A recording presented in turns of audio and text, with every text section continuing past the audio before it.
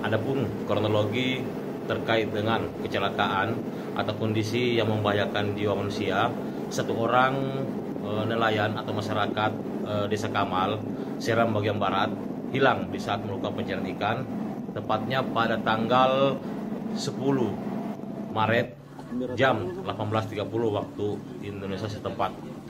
Dan pada saat itu mereka melakukan pencarian ikan berdua bersama dengan rekannya. Namun setelah mereka turun melaut, tiba-tiba cuaca hujan, angin kencang dan ombak. Dan si korban ini atas nama Ibrahim tetap melanjutkan pencarian ikannya dan satu orang rekannya lagi kembali ke atas karena cuaca. Namun pada pukul 20.00 salah satu warga Desa Kamal juga kembali turun ke laut untuk e, membersihkan dia punya perahu atau lombot.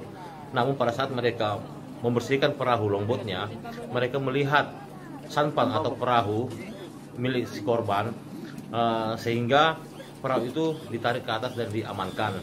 Namun nanti besok harinya baru ketahuan bahwa perahu itu adalah uh, milik korban atas nama Ibrahim yang kemarin malam turun untuk mencari ikan hingga uh, sampai dengan siang itu tidak ada kabarnya dan ditemukan juga beberapa barang milik korban yang antaranya handphone dan berbekalan pada saat untuk melakukan pemancingan dan dihubungilah istrinya ternyata memang benar bahwa e, korban atas nama Ibrahim e, sampai dengan saat ini hilang di saat melakukan pencarian ikan pada tanggal e, 10 Maret.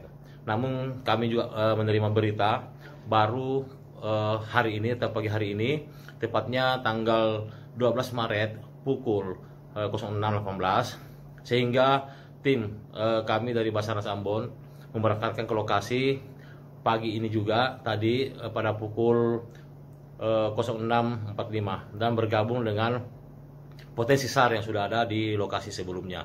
Di antaranya yang ada di lapangan adalah masyarakat setempat, BPBD, Polairu dan Basarnas sendiri. Sehingga eh, pencarian dilanjutkan kembali dan sementara masih